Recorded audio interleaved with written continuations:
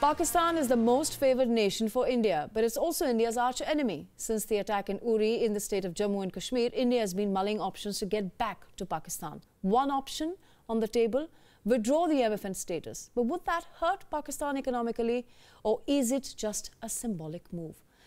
Vrinda, my colleague, filed this report. As tension continues to mount between India and Pakistan, India plans to look at non-military ways to deal with its neighbor. India plans to review the MFN or most favored nation status given to Pakistan. Now, the question is, will this impact Pakistan or is this purely symbolic? Despite India reducing levies for Pakistan under the MFN status, India still has trade surplus or more than $1 billion of trade. The informal trade between the two countries that is India and Pakistan, is twice that of its normal trade. And the informal trade usually takes place via the countries like Dubai.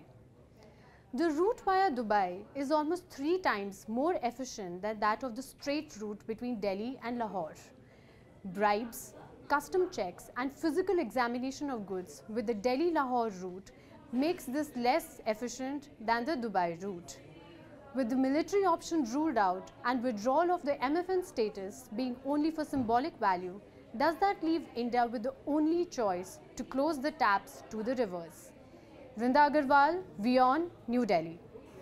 So if it isn't a military option and the economic pressure doesn't count, then what can India do? There is high risk of a war over water in South Asia. The Indian Prime Minister met high-ranking officials yesterday and the Indian government now seems to be planning to take its share of the Indus River water. That's about 20%. If India does decide to take its share, it would deeply impact Pakistan, especially agriculture there. We've got our panel ready to debate that. In the studio with me, Andrew Marszal. He's the South Asia Bureau Chief for The Telegraph. Thanks, Andrew, for being here. We've also got Major General Khurana joining us to talk about if it indeed should be a military option and it can it be one? And then we've got uh, uh, Kashmiri journalist Mr. Gillani joining us. We should also have Ayesha Siddiqa from Pakistan in just a bit. We're trying to connect to her. But let me take uh, this question first to uh, my friend from Kashmir, uh, senior journalist Gillani. Uh, thanks very much, sir, for being here.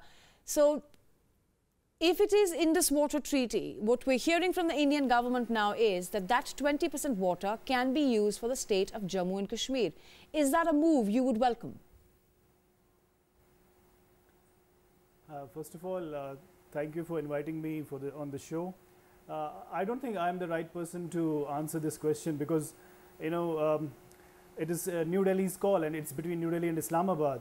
But as far as Indus Waters Treaty is concerned, I think it, it was signed in 1960 and it has survived three wars and also the Kargil. So I think, you know, uh, it also is in a way, uh, I think the PDP will be very unhappy if uh, such a move is being considered by Delhi because it, uh, you have to understand that all these three rivers flow through Kashmir. These are Kashmir's rivers and in the agenda of alliance that was agreed upon between the PDP and the BJP once they formed the alliance, uh, there is also a, a, talk in Kashmir and also demand from Kashmiris that uh, the uh, right on these uh, the waters should be of Kashmiris. So there is also PDP has also promised its people. But, Mr. Gillani, that's exactly what we're talking about. Campaign this water, if yeah, yeah, India uses the 20%, it would be used by Jammu and Kashmir. So isn't that something that the Kashmiris want? No, no, I think uh, there is, um, you have to, it, there's a deeper issue to it. You have to understand that Kashmiris believe that uh, India, New Delhi, used its waters and it is, it, it is an injustice to the Kashmiri people and they are likening it to, uh, you know, what happened when the British was uh, ruling India and it is being uh, likened to various other things. Even the Congress, senior Congress Minister Taj Mohiuddin has uh, made strong, uh, you know, reaction Mr. Gillani, that and having said that, has, hmm. having understood, uh, we, we, let's just for a moment, for the sake of the argument, say even if we understand that sentiment, the point here is that that water is actually going to Pakistan, and if it doesn't, it would be used by Kashmir. Let me just take that to uh, Andrew here. Andrew, you see very difficult relationships here, India, Pakistan, Kashmir, and then of course the international world. In India, the perception is the fact that a military option is not on the table is because India wants to appear as a, a good boy on the international stage. How is the international world perceiving what's happening here? I think that uh, India has has and will continue to uh, generate international goodwill by by uh, acting within international frameworks, by measuring its response, by, in a sense, turning the other cheek, as it were. Um, I think that that uh, you know talk of a military uh, operation in response, um, although perhaps it would have been popular among some quarters domestically, mm. would have not played well on the international scene. Um, and I think we, we saw that at the, at the UN uh, in the, over the past two weeks with India's very measured response. Um, and in terms of you know, a gesture including uh, the Indus River and, and the option of, of cutting off, uh, what, reducing water supplies, well, I think it, you know, it would be a, it, it's symbolic that it's even being discussed. Hmm. Um, does India actually want to leave Pakistani people without water? Almost certainly not, but it's, it's, it's demonstration that it has you know, other, other tactics available to it, which um, is, uh, I think, you know, a, a, a more, as I say, so a more measured it's, response. It's, it's, a bit more like a scare tactic, but nobody really thinks that India is even going to go reduce water. And if it does decide to, would that be understandable by the international world, or even that's going to work? So if India does anything, it work, works against India. And Pakistan, uh, uh, the world admits, is a terror haven in many parts of it. And that doesn't disturb? I mean... I think that um, in many in many senses, just publicly having these talks, having Modi at these talks, is very much India flexing its muscles, demonstrating that it okay. can do these things. But I think that you know what's being discussed at the moment in terms of using more of the water from these three western rivers is entirely within the legal bounds of right. what is already in place. And that's the sort of thing which I think you know perhaps India is doing with an, with an eye on the international community's response saying, look, we're not, we're not suggesting we're going to break any international laws here. Right. We are operating within the bounds that have already been established. Let me go to General Khurana now. General Khurana, to withdraw the MFN status, as my colleague Vrinda Agrawal has reported, is more like a symbolic gesture. Military option, uh, we're now being uh, we, we have been hearing is not on the table. And Indus, the waters, if we reduce that, then again we'll be seen as a people, then India again would be seen to be reducing water supply to India, as Andrew here said, perhaps it should just be a scare tactic. What do you think, General? Should the military option be on the table?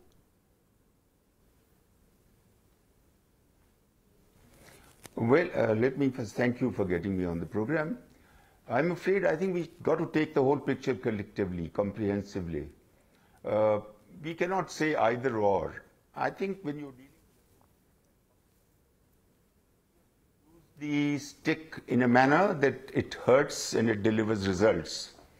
I think diplomatic end of the stick is being used, it will continue to be used.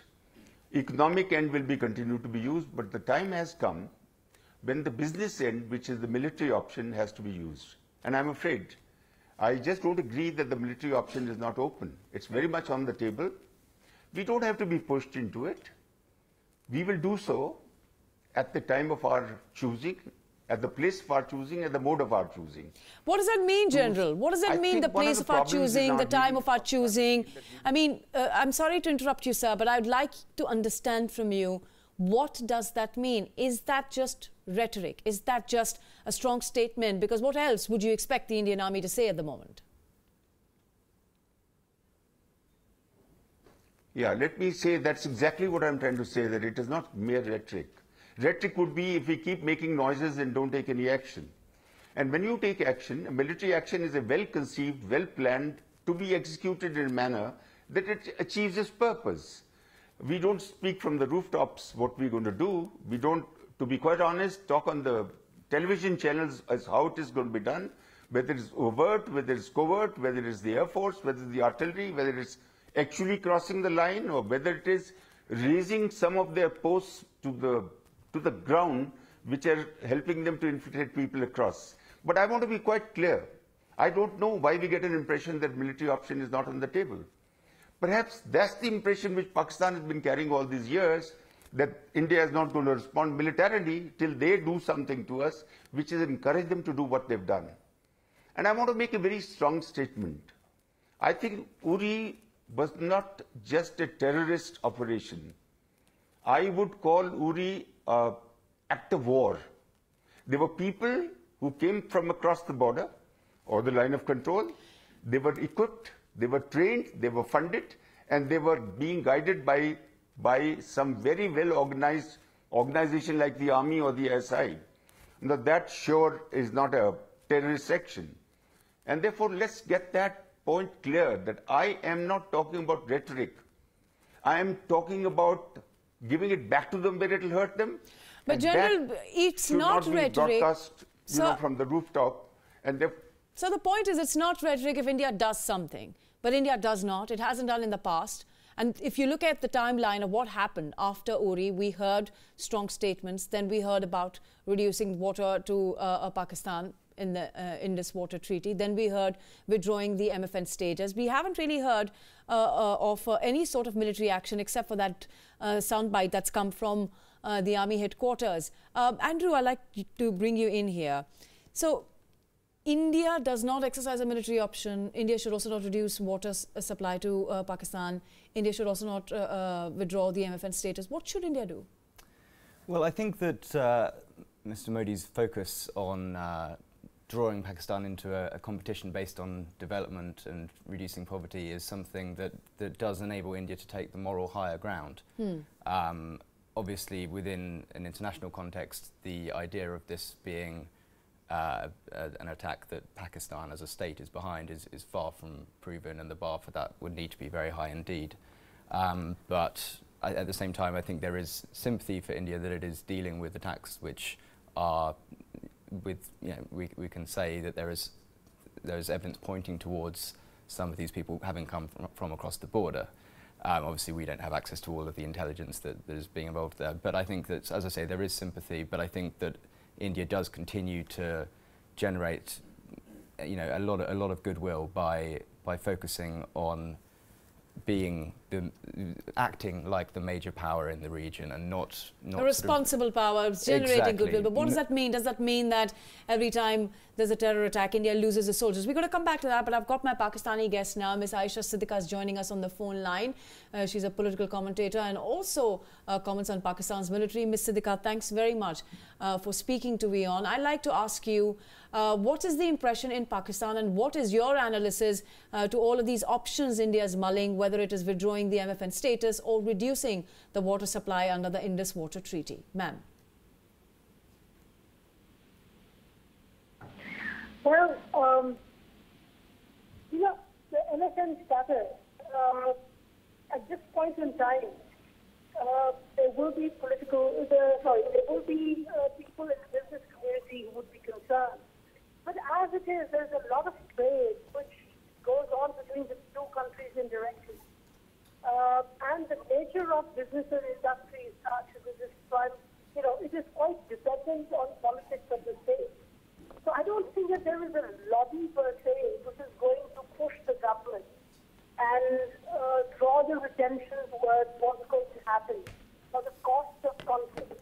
I think it's being packaged as the larger cost of conflict. But if you look at if you have the propaganda or if you have what is being said uh, from the media, uh, clearly uh, what the media is saying is that uh, you know, when when India talks about cancelling the MFN status or stopping water, uh, that it's in a move uh, to engage, and that's being that, that's being uh, presented as atrocity or threat from India.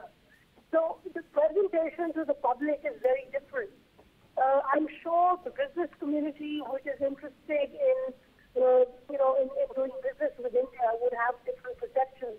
But if you, you know, if you talk about what's the popular perception, then it is basically, it is, it's cushioning the people from from any effect that would happen. And Ms. Siddiqa, what about the Indus Water Treaty? If India does take the 20% of water that it can take under the treaty, how badly does that impact Pakistan?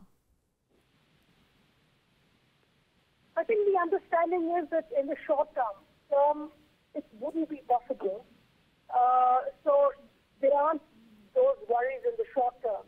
And plus, it's also uh, a, a matter which is covered under international law. Uh, I mean, Indus water treaty, uh, it was not just between World Bank, uh, sorry, not just between Pakistan and India, but it was guaranteed by the World Bank. So there are a lot of things which will happen. Uh, a lot of things will set into motion once India does something about cancelling the Indian water. No, no, it's not about cancelling. What Uh, they're thinking about is- is uh, utilizing their share, the 20% that under the treaty they can. So if they do that, then how does it impact Pakistan? I think, well, it, it is going to impact, but I think uh, what Pakistan is trying to do now is draw international attention and saying the argument, look, the argument that's being made here is that uh, to the to the public, uh, and I think that's important because how people react to it will depend on the information that they are fed. And the information is, so far, that India is threatening Pakistan, uh, and in this entire discussion, there's a total disconnect with uh, terrorism. And the other thing which is being said is that, Uri, there is actually no clear-cut evidence But ma'am, evidence has been provided today. The Foreign Secretary of India summoned, uh, I'm sorry to interrupt, but because you uh, raised the point of evidence, uh, the Foreign Secretary of India did summon Pakistan's High Commissioner yesterday and then today. And then uh, today, foolproof evidence is what we're learning has been given uh, as far as Pakistan's involvement in the Uri attack is concerned. They found the people uh, who were. Who was sort of uh, uh, paid for, or uh, there was some sort of an understanding between living on this side and the chaps who'd come from uh, Muzaffarabad. So that evidence has been provided to Pakistan's High Commissioner today. I saw that. Listen, I saw that news too. But the point is that, uh, you know, uh, it's a reminder that nothing has happened on Mumbai as well. I mean, there's always this conversation gap. There's a lapse as far as Mumbai, Pathankot, and, and you know, Uri is concerned. Now there is this evidence, some evidence which Pakistan says does not amount to evidence know, as, as far as, uh, you know, I'm referring to Mumbai. So my sense is that the same is going to happen. Uh, I mean, either uh, you know India would have to ratchet up uh, the threat, uh, but let's see what kind of international attention and traction does this matter get. Uh, you know, for Pakistan to realize that there is a cost to it. Uh, so, but, but an ongoing conversation. Right, Ms. Siddiqa. I mean, it's almost like we're talking about justice for uh, the 160 plus people who were killed in uh, Mumbai on 2611. Then we're talking about Pathankot. Then we're talking about Gurdaspur. Now we're talking about Uri. Let me take that to my Kashmiri friend, journalist Mr. Gillani is uh, joining us from Srinagar. Mr. Gillani, what do you think India should do? I mean, why, why should I tell you what India should do? I think uh, there's a strong perception. Why shouldn't you tell me what India should that do? all this, yeah, yeah, because this this is not for me to decide. I think the strong perception in Kashmir today is that all this talk about diplomatic isolation of Pakistan, uh, repealing Indus Waters Treaty, and all this talk about OD and other things are an attempt to divert attention from the real crisis that Kashmir is. Uh, on average, 166 civilians are being injured on a daily basis since July 8, uh, since the killing of Burhan Wani. And then, you know, you have 88 civilian killings at the hands of Indian security forces. There are more than 800 pellet injuries. And uh, Mr. Andre was talking about high moral ground of India. I think India actually was, uh, you know, India invited a lot of international shame with what was being, what was happening in Kashmir and what still is happening. And what's Kashmir. your opinion you on to take it, you know- Pakistan's Prime Minister at UNGA No. saying that Burhan No, Wani was a local leader Please. when he had an AK-47 in his hand, wearing a soldier's attire and flaunting his uh, flaunting his gun. I What do you I make of that? I think you have a Pakistani guest to uh, give you a Pakistan's perspective. I'm from Srinagar. I will give you a Kashmiri perspective. I think you know you have to take this all this rhetorical utterances about diplomatic isolation and other things. I think the international relations are not driven by emotions and other things. They, you know, I, you, you, you should know. I, I mean, I think you, you must be knowing that in 1962, when Mr. Pakistan Gillani, I do apologize, Kashmir- but it seems to me just- that- no, no, please, please, Go ahead, sir. Go ahead. Go ahead. please, please let me let me. Sure, sure, I'm, sure. I'm, yeah. In, in 1962, when Kashmir, uh, when Kashmir resolution was brought by, you know, uh, by Pakistan in, at the UN, China supported it, and Saudi Arabia, supposedly a Muslim country, they opposed it. So international re relations have their own dynamics. You know, when uh, India got closer to the US, there were Russians conducted a joint military exercise with Pakistan. China supported Pakistan on Kashmir. So there's this uh, diplomatic isolation does not exist anywhere in the world. You can build diplomatic pressure, but isolation, I think, is a wrong word to I, use. I, I do agree And with you. I, to, I, you know, I, think, I'm sorry, uh, I've got four yeah. minutes left in this debate. I'm Uh, sorry. I understand your point yeah. when, you're talking about diplomatic the- isolation. the- Every the- country has its about national the- interest and their Yeah. Interest first, and that's how they decide. But, sir, I do find Can it a little I come into surprising that you did not talk at all Yeah, about the Gurdaspur, Uri, Pathankot attacks, where the soldiers have been dying. Of course, I mean, the fact I mean- that I mean, Kashmiris you are getting you injured is a to- problem, but also... there- No, I, I, I'm sorry, I've got to not- go to General injured. Khurana. India- General India is- come India- in. Indian army is accused of war crimes in Kashmir. Rapes, molestations. General Yeah, I- I would you think- like to say think- Talk about something? that. General Can- Khurana can will respond to you. let me- Yes. Yeah, yeah. Look, yeah, let, let, let, us get one thing clear. There's a clear pattern Pakistan is following. That, that policy of thousand cuts on India to bleed is the policy. I think we're making too much of being a good boy in the international scene. This pattern is quite clear that it's supported by Pakistan, whether it's the ISI, whether the army. And therefore, this business of evidence being produced, you do that in Mumbai, nothing happens. You do it in Gurdaspur, nothing happens. You do it in Pathankot, nothing happens. You do it in Udhampur, nothing happens. Now you start doing in Uri and nothing will happen. So I think the time has come when your military muscle, why do the countries have a security uh, establishment? Why do you have such a large army? Why do you have such a large air force and navy? Right, sir. It is meant to guard your interests. So I've got to bring in my other guests. I think you've a- raised a very important me point. Andrew, last much of a- last point word from you there, and then I'll go to Ms. Siddiqa if she's still with us. Uh, if we have our forces, as General Khurana is saying, you're constantly being attacked, you've constantly given evidence, that's what India says, then what should now, what's, why should India not exercise the military option? Why should India be appearing as this uh, good boy and have the goodwill? India already has enough goodwill and Pakistan perhaps is misusing uh, uh, the fact that India won't opt for a military option. Well, I think that India and its government would uh, surely is thinking very much. You know, wh- what are what are the outcomes that it wants from its response here?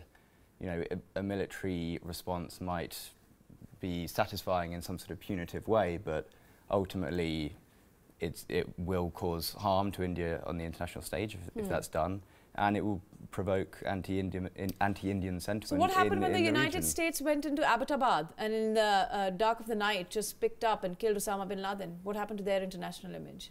Well, uh, I think they were uh, massively less popular in certain parts of the world as a result of doing it. Um, but no, the, of course, these things are never easy, and I'm glad I'm not the one making the decision. But uh, I think it's, it's, you know, saying that uh, we have an army, why not use it, sort of discounts the fact that actually Hmm. maybe, maybe the outcome that you want isn't something that's going to feel Maybe in India, you know, we just term. sit down in TV studios and discuss the several options, and uh, we uh, don't know which one Indian government is going to opt for, if it will. This government's uh, rhetoric has been pretty loud, so let's see what in what way they're going to react. So far, they say it's diplomatic isolation. Uh, my Kashmiri friend doesn't agree with it. But thanks very much, Ayesha Siddiqa uh, from uh, Pakistan, from Islamabad, uh, Mr. Gillani from Kashmir, General Khurana, and Andrew. Andrew.